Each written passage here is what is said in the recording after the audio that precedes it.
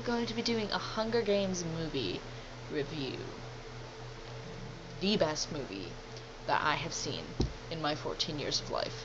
Besides, I don't have another one. And on the other hand, my lovely, lovely colleagues, and by colleagues I mean friends, have bought me this. Hi, I'm Peeta. Yeah. I love me, Peeta. Hold up, put up. He will just awkwardly stand in the back of my shot for now. Hello, Peeta. So you can see like the light reflecting off his chest, making it look like he has boobs. But okay. Just cover that with my face. Okay, um and this should not be any longer than 10 minutes, I hope. Um review. I thought the movie was fantastic. Literally, I was crying, laughing, pissed off throughout the whole movie because the characters did their their job in creating that same vibe that the book gave you of anger, sadness, and just humor. Just the way that it was written. Beautifully and fantastic by the wonderful Suzanne Collins, who hopefully should write a prequel to the book about some other girl or about her dad and her mom. No, kidding. Whatever she would like to do. Write about. It's not. I'm not the writer, so I can't write anything because I don't know anything. But okay. Randomly breaking down to accents. I don't know why. But here are the three I wishes that would have been in the movie. I'm gonna say disappointment probably, but these are the three things that I would have wished had been there. Obviously, the first one is the pin. I was so I thought they were gonna do like some Greasy Sae thing, like maybe here take the pin from Greasy Sae, but it was no kind of like I found this pin in a bucket at the Hob, and I'm just going to give it to my sister and tell her good luck. This will keep you safe. When we all obviously know it won't. But to the people who haven't read the book, it's kind of a shocker. But it's like, here, I grabbed this out of a bin at the Hob. I hope you like it. I sparkled it with my pixie dust and said it's magic. And it keeps you safe, which obviously it doesn't. Number two, the chariot scene. A lot of people were like, oh my god, I love it. I'm like, well, I'm not disappointed with it, I guess. I just wanted it to be a little bit more elaborate. The CGI, I, I don't even know if it was CGI, just animation in general, was not how I imagined it, I guess. It was like okay, they're on fire. They look like two logs. But I guess that was the point. I personally, I, I think I liked the outfits. I just didn't like the subtlety that it was. I thought it was going to be more like, because it was supposed to be. I don't know if I'm wrong. Correct me if I'm wrong. Camera's there. Um, number three, no shirtless Peeta scenes. I'm very disappointed. No, I'm kidding.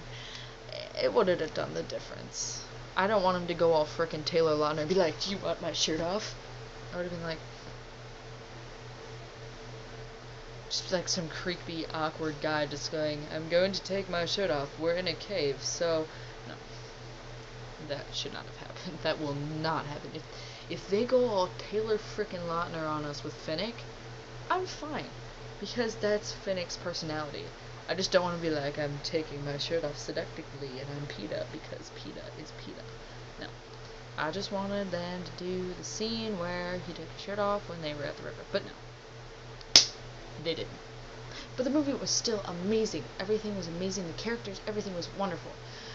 Haymitch gave Haymitch and Effie gave the perfect balance of humor and so seriously played out story. Movie, story, whatever. Other funny moment that did not involve Effie or Haymitch was the hallucination of Caesar. He's like, Tracker Jacker venom can cause serious hallucinations. I'm like, in the middle of the theater, I'm like, how did he get there?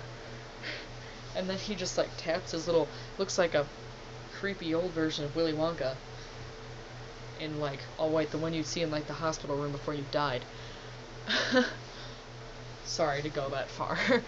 um, then the career tributes when they were going to get Katniss. They're like, "Whoa, I'm gonna come and kill you! Oh, look, there she is! Oh, ooh, ooh." literally, I was dying because they're just like so like, "Oh yeah, oh yeah, I'm gonna come and kill you. We got my knife and I got my bow." And I got my sword and my spear, and I'm just gonna come and cook you like a pig. No, that didn't happen, did it? Look who died there. Glimmer. A good tracker jacker scene.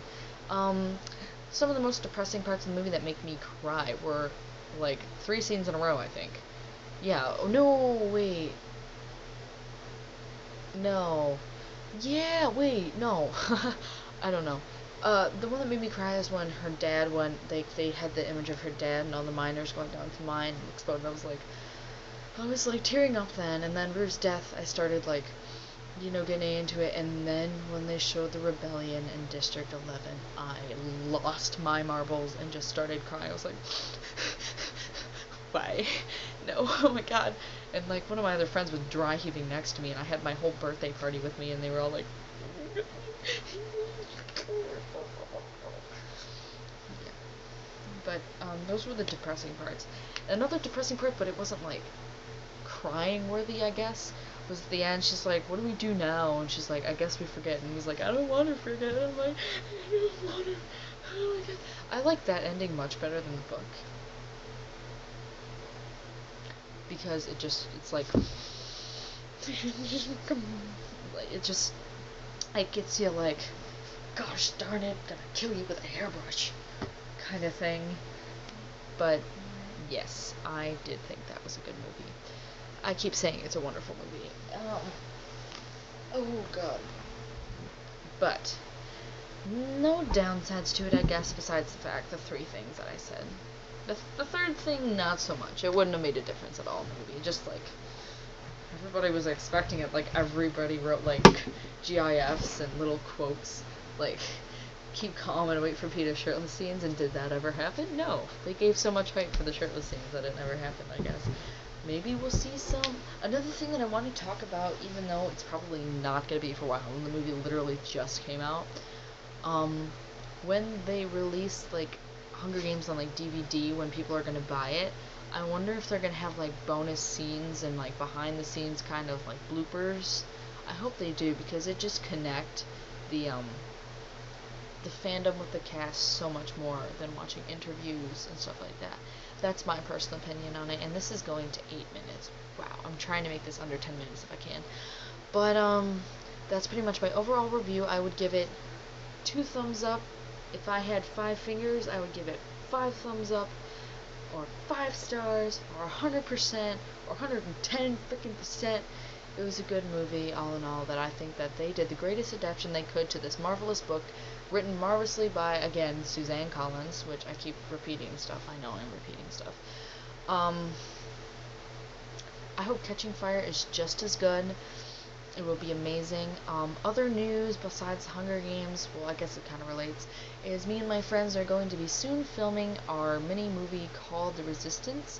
The trailer should be in one of the people that I follow their soccer goalies account. If you go there and you go to The Resistance trailer 1 and 2 are the most the ones that we do. We will soon be filming the movie sooner or later, and we'll be making our own little Hunger Games news. Other than that, there is nothing. I still need lost chapter ideas like books that we can make into mini movies that play off maybe like five or six minute movies, nine, ten minutes. Hopefully, you guys see this and you will recommend some books that you think we should do skits off of. Please and thank you because we are running out of things to do with the Hunger Games books, and Divergent is next, and possibly Percy Jackson, a girl version.